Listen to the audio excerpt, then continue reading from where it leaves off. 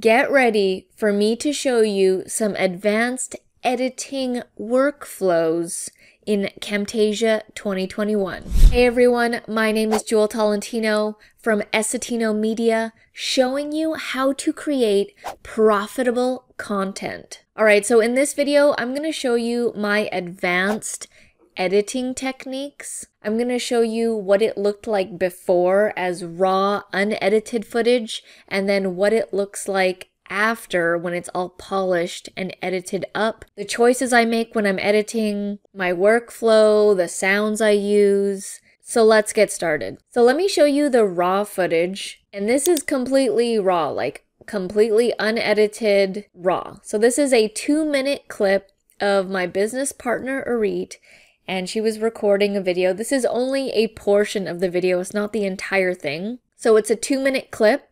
I'm to play it for you guys, and then I'm to play the edited version, and then we'll go through how I got to the final edited version. So I'm to play the raw edit now. If you're busy all day but not trying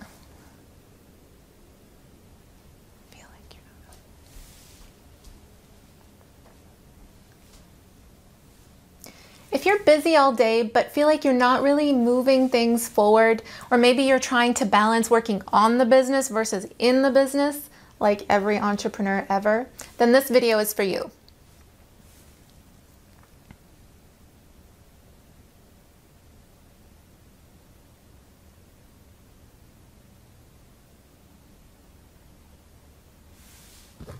Hello, it's Arit here from Essetino Media helping you create profitable content. And in this case, in this particular video, helping you create a system that brings more profits into your business.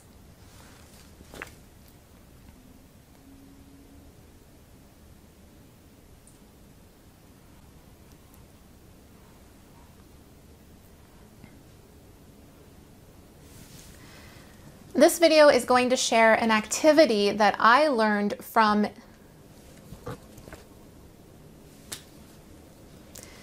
This video is going to share an activity with you that's really going to help you get more productive in your business and it's going to help you see what tasks you're working on that actually produce the income in your business, actually produce real results so that you know how to prioritize your tasks throughout the day. This is a method that I learned from business coach and performance coach Todd Herman, who coaches like Fortune who coaches Fortune 500 CEOs and Olympic athletes with these types of techniques. So let's get into it.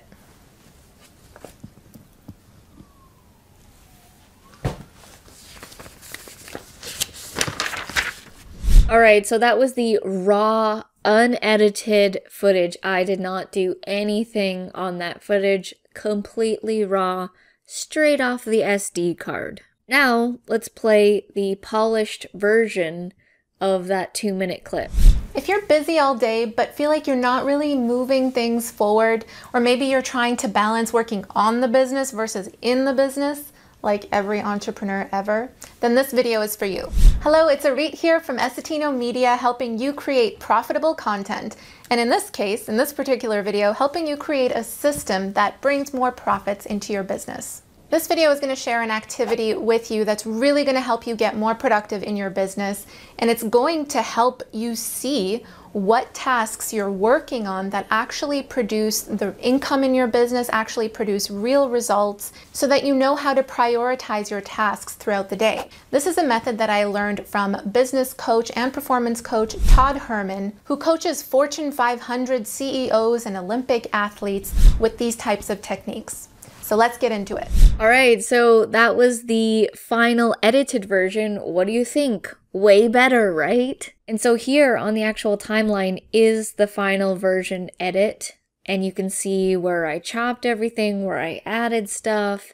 And if I drag this down right here, this is the unedited version. As you can see, huge gaps of dead air, right? So First thing is even before you start editing is the way that you film.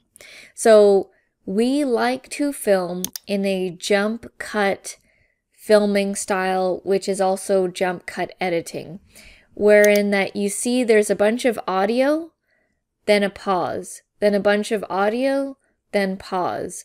So we're basically saying certain lines, like it's usually one to two sentences, maybe three sentences if we can really get the flow going, and then you pause. Why do you pause? Well, it gives it this jump cut effect where, in my opinion, you get really strong concentrate information in a video. And you'd be surprised when you take all that stuff out how concentrate you can actually get your video. And I like the style. I feel it's very engaging. It keeps people entertained, in my opinion. So before we even start editing, we film in this style. I know it's weird when you're actually doing it because you'll be saying a line, right? You'll be saying a line.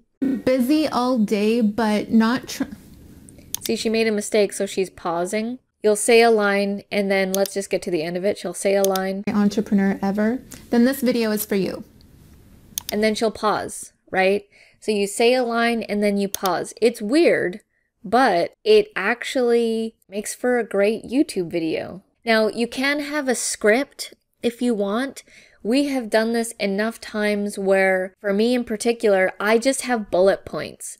So I'll have a video and it'll have three to five bullet points usually. I'm not usually going past five bullet points and I'll just riff off of each bullet point. So I'll say my intro, say what the video is about, and then start going through each bullet point, which is one to three sentences each. And I do that until I get to the end of the video. And then that's a recorded video.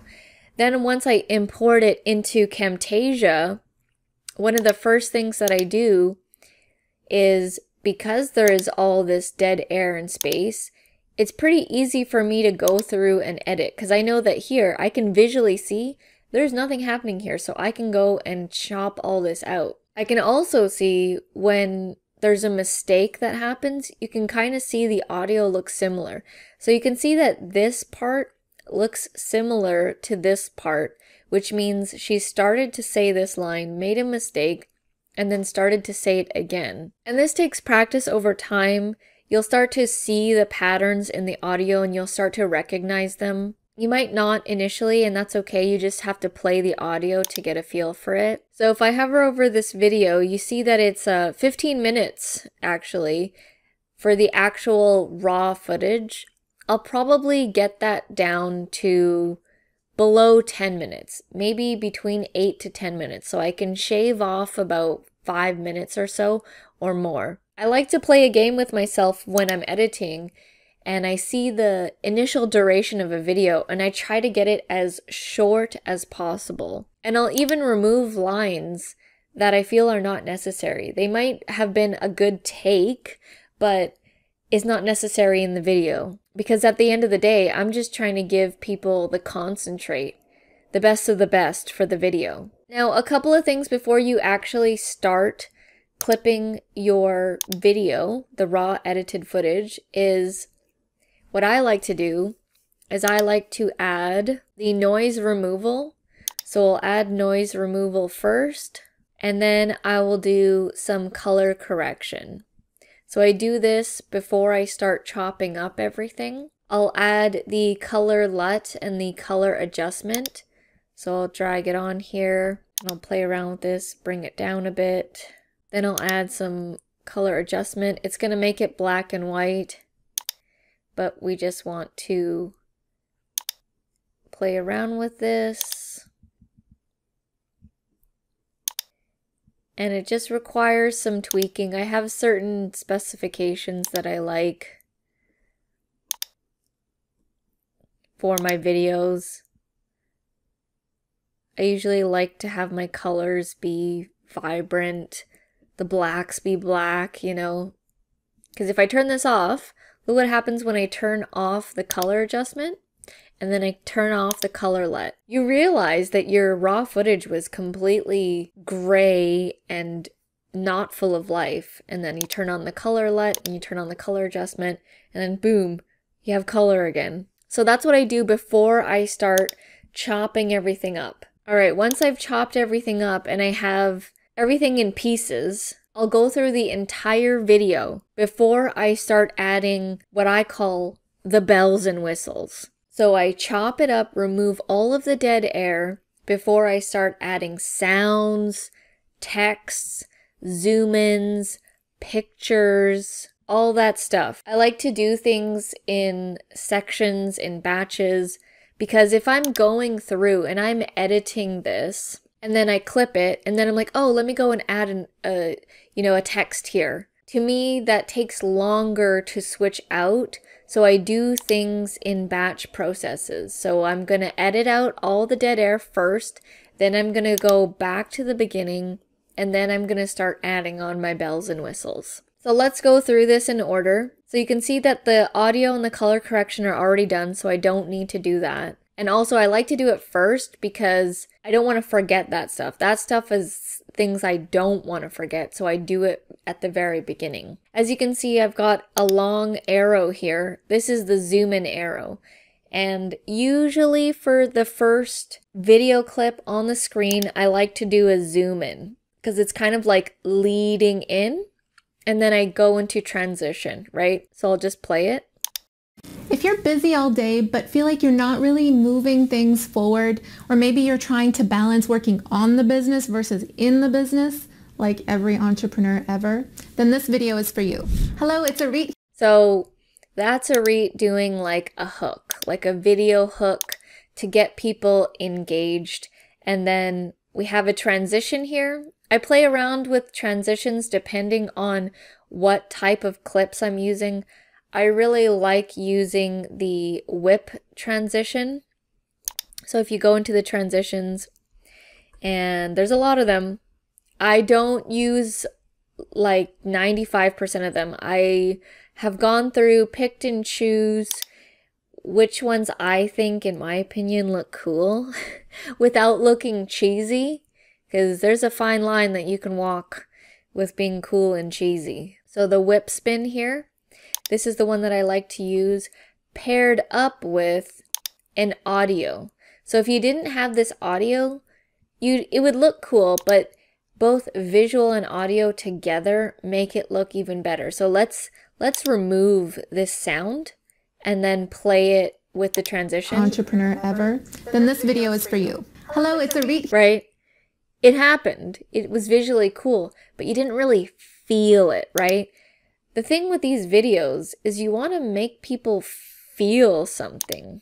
So I want them to get excited. Now I can't place this properly on here.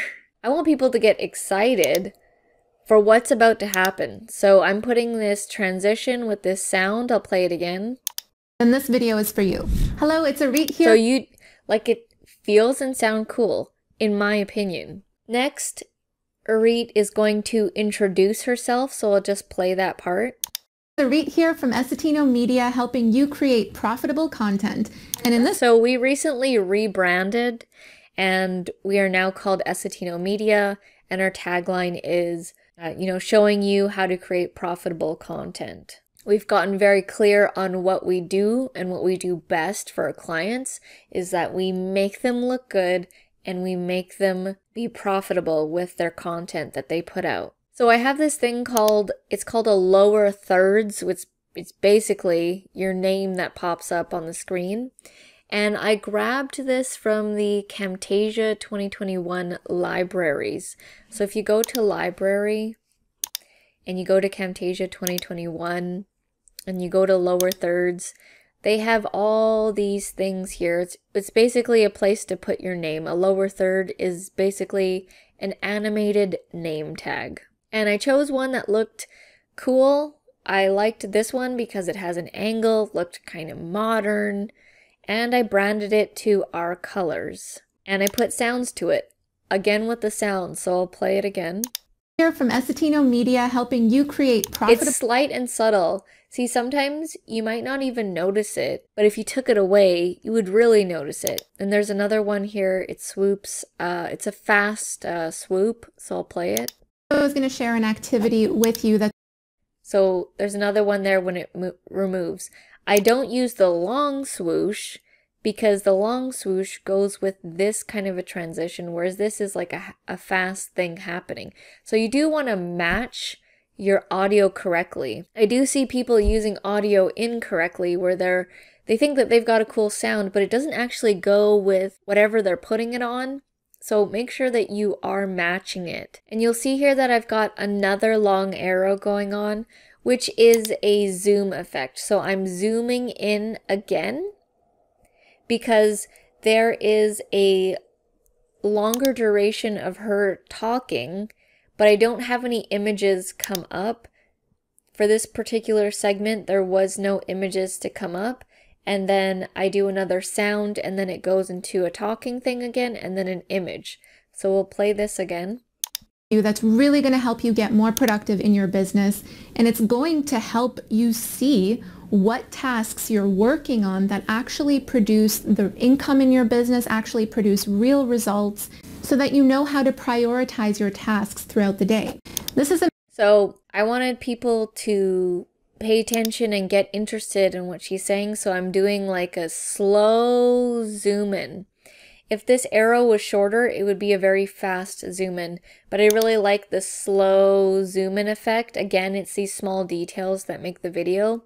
And at the end of the zoom, it goes back to the regular frame. And so that's why I did this sound bite here to, to show that the transition of changing from the zoom in back to the normal framing of the video. Next, she's going to mention this author here, Todd Herman, and so I wanted an image of him and his latest book to pop up on the screen. I also know that his book cover was yellow, and I, I know that that would be very vibrant and very visually appealing for the people to see that on the screen. So I'll play this part here. Coach and performance coach Todd Herman, who coaches Fortune 500 CEOs and Olympic athletes with these types of techniques. So let's get into it. Okay, so again, I added the whip transition because I thought with this color of his book, it would be cool to have it whip as a visual effect. And then I added this the long swoosh because it's the whip transition. I feel it goes best with that sound and that movement. And I have this come up on the screen of Todd Herman's book, The Alter Ego Effect and then it's on there for I think let's see 5 seconds and then you'll see I specifically stop it because Arit is going to be ending this segment and so I specifically stopped it so that she could say this ending line on screen. So I'll play it. Those and Olympic athletes with these types of techniques. So let's get into it. She's saying, let's get into it. So I want her to be on screen when she says that and not have the alter ego Todd Herman on there while she says it. I think it would be, it's more powerful for the, the viewer to see her on the screen as she's saying those particular lines. This was an overview of that two minute clip. Like I said, this video was originally 50, almost 16 minutes, but I'm just showing you the first two minutes. And so as you can see, if I showed you the entire video, there would be like lots of stuff happening in here. So this is why this is the advanced video workflow. So that's my workflow for an advanced edit. If you guys liked this video, I have a nine plus hour Camtasia course that will fast track your Camtasia learning. You guys should take the course. It's full of value and you'll be able to edit videos like this. Hit the thumbs up button if you found this entertaining, and I'll see you in the next video.